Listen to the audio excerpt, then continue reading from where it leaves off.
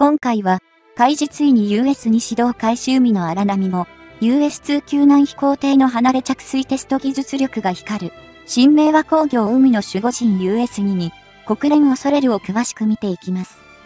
やっぱり、すごい US に、今現在、なんと、インドやブルネイにセールス中なんです。それに、アメリカが興味を示していますし、これまた、日英での協業と、US に救難飛行艇の世界が広がりますね。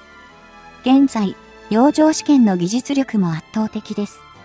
両輪で売っていくといいけどな。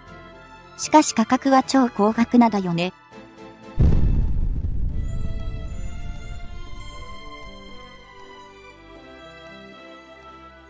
SNS 上の X、旧 Twitter にて、2024年1月10日に、海上自衛隊の阪神基地は、新明和工業製の US2 救難飛行艇の洋上での離水、着水を行うテスト飛行の約35秒ほどの動画を公開し、その迫力に注目が集まっている。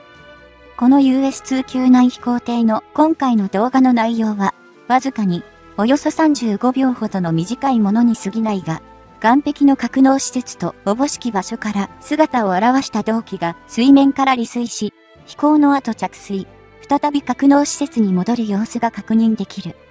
この動画が撮影された場所の海域は、海上自衛隊の阪神基地が置かれている兵庫県の神戸市東灘区大崎浜町に隣接した瀬戸内海止めされているが、神戸港東部の海面第3航空埋め立て地の南東部に、同基地は所在している。海上自衛隊の保有する新明和工業製の US2 救難飛行艇の配備数は総数で7機で、そのすべてが山口県岩国市の海上自衛隊岩国航空基地の第31航空軍第71航空隊に配備されており、今回はその貴重なテストの様子を収めたものである。海上自衛隊の阪神基地は、その参加に、仮矢敷測定所や由良基地分検体を有しており、前者は各種艦艇の移動しながらの動的時期特性の測定が日本国内で唯一可能で、後者は潜水艦の海上テストの支援や紀伊水道周辺の補給基地の役割も担っている。また、海上自衛隊の5地方隊の一部である第42総海隊の拠点としても活用されており、菅島型総海艇の3番艦、津の島と4番艦、直島が配備され、大阪湾級や紀伊水道における対機雷戦の訓練や爆発物の処理等を任務としている。こうした多様な活動内容の中に、今回のような新明和工業製の US2 救難飛行艇の洋上での離水、着水を行うテスト飛行等も包括しており、日本の広大な領海や排他的経済水域の安全を支える一助となっていると言えそうだ。今回 SNS 上の X、旧 Twitter にて動画が公開された新明和工業製の US2 救難飛行艇は、その内容が示す通り、水上からの離れ着切りが可能な特殊な機体であり、通常の航空機のような陸上の滑走路を必要とせず運用が行える。この新明和工業製の US2 救難飛行艇は、乗員が最大で11名、全長が33.25メートル、全幅が33.15メートル、全高が10.06メートルの大型の機体を持ち、最大離着陸重量で47.7トン、最大離れ着水重量で43.0トンを誇る。機関部には、イギリスのロールスロイス社製の AE2100J ターボプロップエンジンを4機搭載しており、最大出力は4機で18,364馬力を発生。最大速度でおよそ 580km。巡航速度でおよそ 470km を発揮することができる。また、航続距離は最大でおよそ 4700km、43トンの積載時で離陸に必要な滑走距離はおよそ 280m、着水に必要な滑走距離はおよそ 310m と非常に短い距離で水上での離れ着切りが可能であることが使用上で公表されている。これは通常の民間航空機の離着陸に必要な滑走路のおよそ4分の1ほどの距離であり、滑走路のない洋上等で、高い汎用性と運用能力を備えているといえ、US2 救難飛行艇の主任務である救難活動に大きな利点となっている。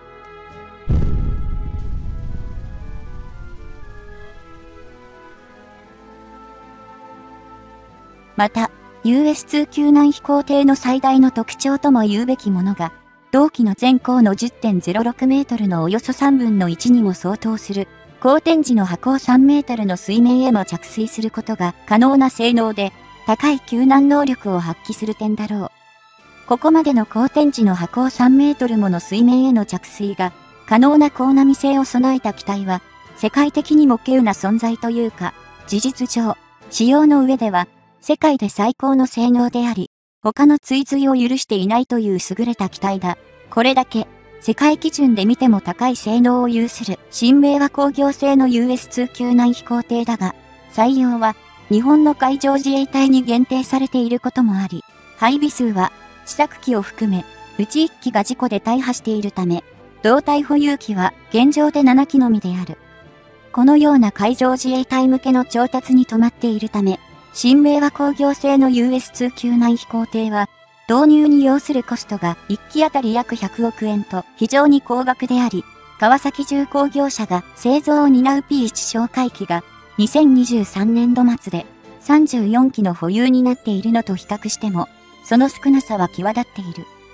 ただし、これは、現状より、仮に、新明和工業製の US2 級内飛行艇の受注量が増加したと仮定し、1機あたり約100億円ものコストが低減されたとしても、海上自衛隊が救助任務用の機体を倍増させるとも思えず、用途の特殊性も視野に入れるべきだろう。そのため、日本政府や製造元の新明和工業としては、海上自衛隊に限らず、US2 救難飛行艇の販路を他の組織にも拡張したい意向を示しているとされるが、2024年1月の時点で、その具体的な目途は立っていないという状態でもある。日本国内においては、総務省の管轄下にある消防庁が、US2 救難飛行艇に消火能力を加味した機体の導入を、検討の訴状に挙げてはいるが、同運用における既存の主力である回転翼機との自己回避をいかに行うかも課題とされている。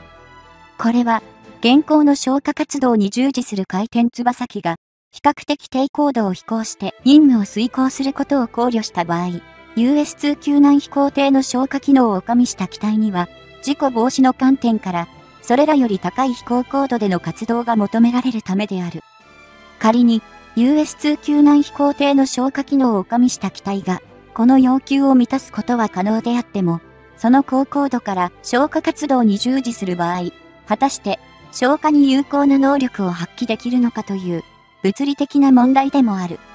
加えて前述したように、現行の海上自衛隊における US2 救難飛行艇の1機あたりの導入コストは、実におよそ100億円と非常に高額であり、この金額が多少軽減されても、消火活動に用いる機体としての費用対効果が得られるのかについても、懐疑的な見方が存在する。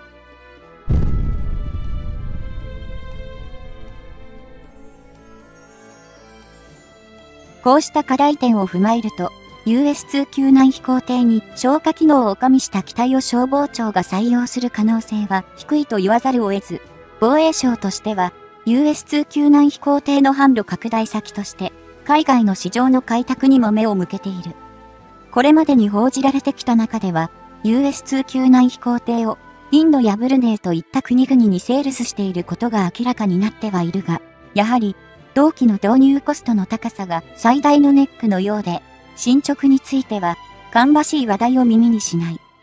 こうした US2 救難飛行艇の海外輸出に関しては、防衛省が本格的に取り組みを始めたと思いしき、2011年頃は、未だ、武器輸出三原則が存在していた時期ではあったが、同期は、攻撃用の兵器には該当しないとの見解が示されていた。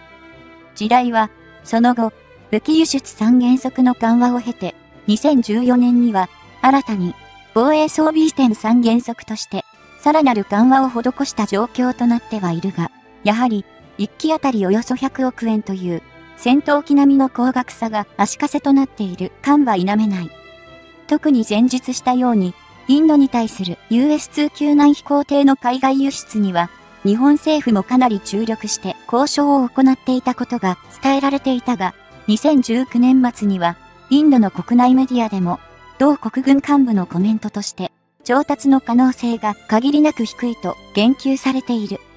さて、そんな US2 救難飛行艇に関しては、コストが大きな比重を占めて学販には至っていない製造元の新名和工業者だが、同社のホームページ上の IR 情報によれば、2023年3月期の売上高はおよそ2250億円、営業利益はおよそ93億円ほどを計上している。US2 救難飛行艇の各販が実現できていない中で、製造元の新名和工業者は、清掃作業車両等の特装車両や、各種の駐車場システム、産業機械、環境システム等の領域で事業を展開しており、むしろ、売上での本業は、それらの分野とも言えそうだ。